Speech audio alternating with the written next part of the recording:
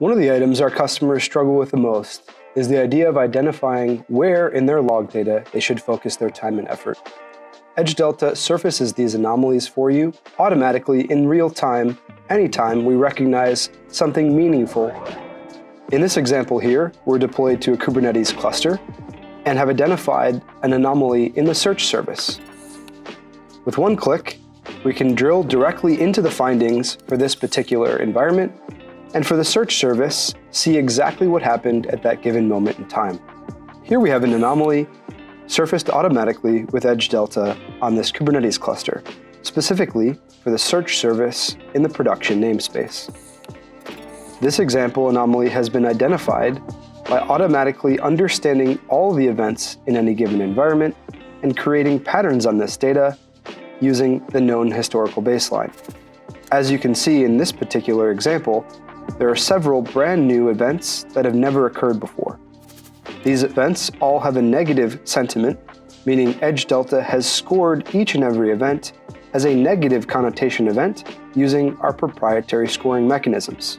An example of a negative sentiment event would be something like a fatal or severe error level, or maybe something like an invalid access key occurring in the message.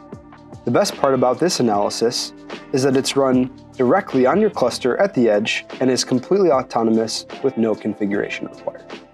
Now, if we want to know a little bit more about these negative sentiment events that Edge Delta has identified, we can of course drill in one layer deeper and analyze these messages in context.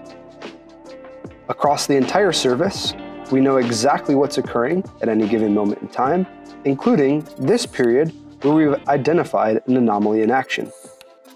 Let's take a look at that known historical baseline. There's only 200 or so events occurring uh, that are negative in connotation in nature.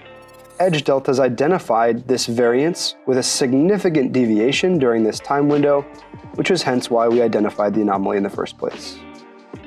If I want to know more about one of these specific patterns that Edge Delta has identified, we can quickly and easily drill into each of these and understand what was happening at that given moment in time for this brand new pattern Edge Delta identified.